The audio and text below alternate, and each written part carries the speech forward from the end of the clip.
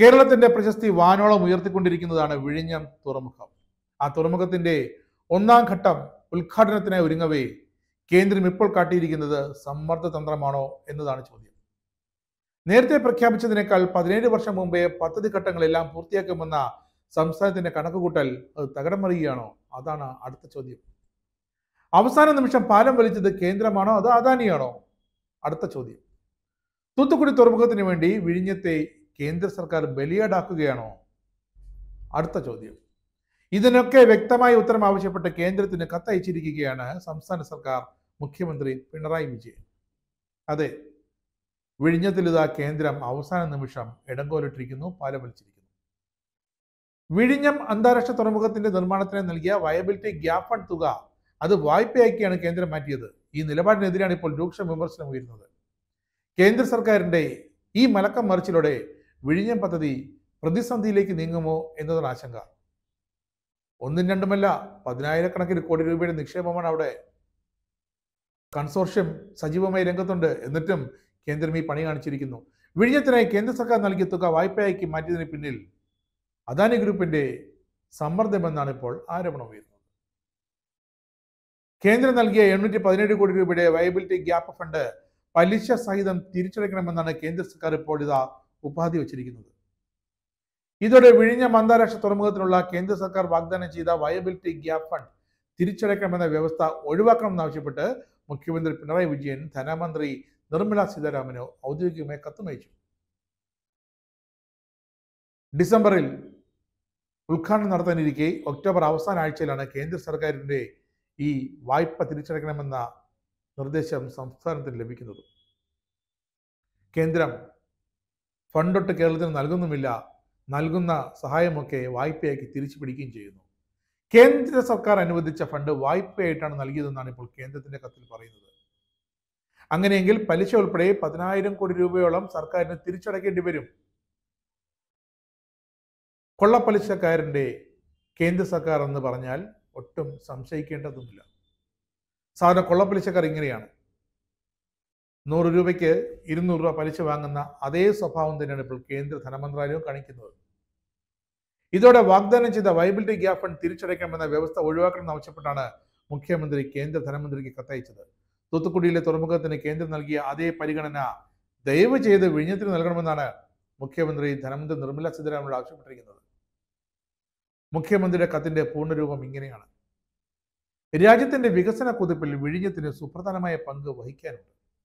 വിഴിഞ്ഞം തുറമുഖ നിർമ്മാണ ഘട്ടത്തിലെ viability gap fund V G F തിരിച്ചടച്ചിരിക്കണമെന്ന വ്യവസ്ഥയിൽ മാത്രമേ പണം അനുവദിക്കാവൂ എന്ന കേന്ദ്രത്തിന്റെ നിലപാട് പുനഃപരിശോധിക്കണം. പദ്ധതി വിഹിതമായ എണ്ണായിരത്തി എണ്ണൂറ്റി അറുപത്തേഴ് കോടി രൂപയിൽ അയ്യായിരത്തി അഞ്ഞൂറ്റി തൊണ്ണൂറ്റഞ്ച് കോടി രൂപയും സംസ്ഥാനത്തിന്റെ നിക്ഷേപമാണ്. പരിമിതമായ സാമ്പത്തിക സ്രോതസ്സുള്ള കേരളം പോലുള്ള ഒരു ചെറിയ സംസ്ഥാനത്തിന് ഇത് വലിയ ബാധ്യതയാണ്. തുക തിരിച്ചടക്കേണ്ടി വരുന്നത് സംസ്ഥാനത്തിന് പതിനായിരം മുതൽ പന്ത്രണ്ടായിരം കോടി രൂപയുടെ നഷ്ടം വരുത്തും. വി ജി എഫ് മാനദണ്ഡങ്ങൾക്ക് വിരുദ്ധമാണ് ഈ കേന്ദ്ര തീരുമാനം. കസ്റ്റംസ് തീരുവയിൽ ഒരു രൂപയിൽ നിന്നും കേന്ദ്ര സർക്കാരിന് അറുപത് പൈസ ലഭിക്കും. അതേസമയം കേരളത്തിന് മൂന്ന് പൈസയിൽ താഴെ കിട്ടൂ. വിഴിഞ്ഞത്ത് നിന്നും പ്രതിവർഷം പതിനായിരം കോടി രൂപ കസ്റ്റംസ് തീരുവയിൽ ലഭിക്കും.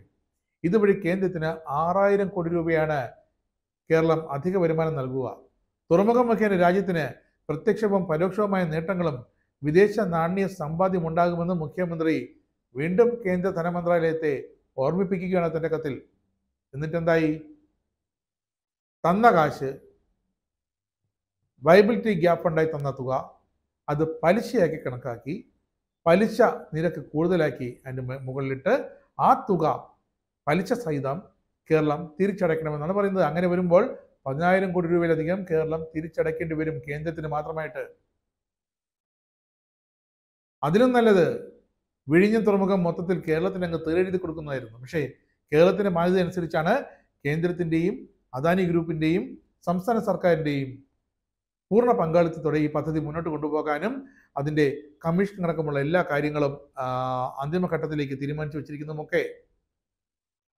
പ്രത്യേക കപ്പൽ കമ്പനി തന്നെ തുറമുഖ മേൽനോട്ട കമ്പനി തന്നെ കേരളം രൂപീകരിച്ചു കഴിഞ്ഞു. മുതിർന്ന ഐ എസ് ഉദ്യോഗസ്ഥയെ അതിന് ചുമതല ഏൽപ്പിച്ചിട്ടുണ്ട്. അതിനുശേഷം ഒരുപാട് പദ്ധതി പ്രവർത്തനങ്ങൾ ഒരുപാട് പുരോഗമനങ്ങൾ ഒരുപാട് മുന്നോട്ടുള്ള തുറമുഖവുമായി ബന്ധപ്പെട്ട മുന്നോട്ടുള്ള നടപടികൾ ഇതൊക്കെ കേന്ദ്രവുമായി ഖത്തറോടക്കം നടന്നു കഴിഞ്ഞു. ഏറ്റവും ഒടുവിലാണ് ഇട്ടപാലം ഇതാ കേന്ദ്ര സർക്കാർ തിരിച്ചു വലിച്ചെടുക്കുന്നത്. എന്നിട്ട് ഒന്നും അറിയാതെ മിണ്ടാതെ നിൽക്കുകയാണ്. കേരളത്തിന്റെ സാമ്പത്തികമായി ധനസ്ഥിതി വളരെ മോശമായ കേരളത്തിന്റെ പിച്ചച്ചട്ടിയിൽ ഇങ്ങനെയും കൈയിട്ട് വരാമെന്ന് കേന്ദ്രം ഇതാ ഒരിക്കൽ കൂടി തെളിയിച്ചിരിക്കുന്നു. അതും കേരളം വഴി കേന്ദ്ര സർക്കാരിന് നമ്മുടെ ഇന്ത്യയ്ക്ക് തന്നെ അഭിമാനമായി മാറുന്ന വിഴിഞ്ഞം അന്താരാഷ്ട്ര തുറമുഖ പദ്ധതിയിലാണ് ഈ നക്കിത്തരം കാണിക്കുന്നത് നമ്മൾ ഓർക്കണം. എന്തായാലും കേന്ദ്ര സർക്കാർ അടിയന്തരമായി തീരുമാനം വി ജി എഫിനെ വായ്പയാക്കി മാറ്റിയ ആ കാടൻ തീരുമാനം അത് കേന്ദ്ര സർക്കാർ പുനഃപരിശോധിക്കും എന്ന് തന്നെയാണ് സംസ്ഥാന സർക്കാരിന്റെ പ്രതീക്ഷ. കേരളത്തിന്റെ പ്രതീക്ഷ അതുതന്നെയാണ്. കേരളം ആവശ്യപ്പെട്ട ഫണ്ട് നൽകിയില്ല. പലതവണ കേരളം ആവശ്യപ്പെട്ടു വയനാട്ടിൽ ഇത്രയും രണ്ടായിരം കോടി രൂപയുടെ നഷ്ടം ചൂണ്ടിക്കാട്ടിയിട്ടും വയനാട്ടിൽ ഒരു സഹായവും നൽകിയില്ല. രണ്ട് കേന്ദ്രമന്ത്രിമാരുണ്ട് കേരളത്തിൽ നിന്നും പിറവിയെടുത്ത് പോയവർ. ഒരാൾ അർത്ഥ സഹോദരനും മറ്റേ തൃശ്ശൂരിൽ നിന്ന് പോയ വ്യക്തി രാജ്യസഭ വഴിയും ലോക്സഭ വഴിയും രണ്ട് ബി ജെ പി എം പിമാർ മന്ത്രിമാരായി നുഴഞ്ഞു കയറിയിട്ടും കേരളത്തിന് ഒരു ഉപയോഗവുമില്ല. ഇനിയോട്ട് ആ ഉപയോഗം ഉണ്ടാകാനും പോകുന്നില്ല.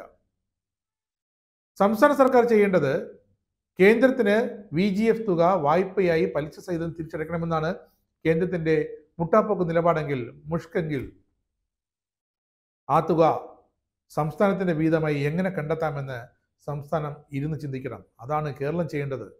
അല്ലാതെ മുൻകാലങ്ങളിൽ ചെയ്തതുപോലെ കേന്ദ്രം തരുമായിരിക്കുമെന്ന് പ്രതീക്ഷിച്ച് കാത്തിരിക്കുകയല്ല വേണ്ടത്?